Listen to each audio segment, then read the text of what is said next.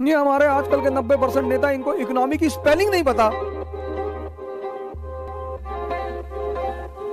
ये 90 परसेंट को इकोनॉमी की स्पेलिंग नहीं पता स्पेलिंग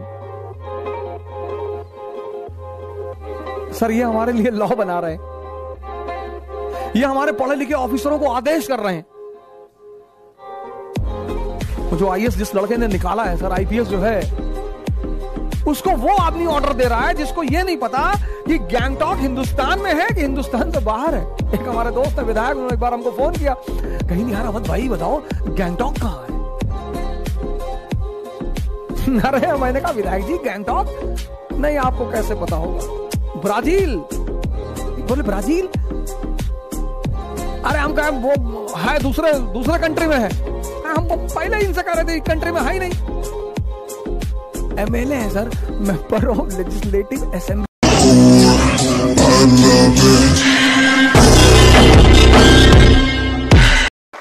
हो सकता है लोग आपका मज़ाक आज उड़ाए।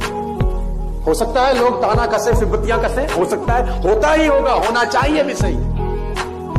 क्योंकि क्रांतिकारी लोगों पे ही ताने कसे जाते हैं। चीज़ मैंने सीखी है लाइफ में कि दुनिया का सबसे बड़ा लोहार है टाटा और दुनिया का सबसे बड़ा मोची है बाटा। काम तो लोहे और जूतों का ही कर रहे हैं, पर आज इनकी ब्रांड्स इंटरनेशनल काम कोई छोटा नहीं होता है, तरीका बड़ा होता है। समझो आप। तो मैंने क्योंकि कहते हैं कि हर पक्षी के भाग्य का जो दाना पानी है ना उसने लिखा है।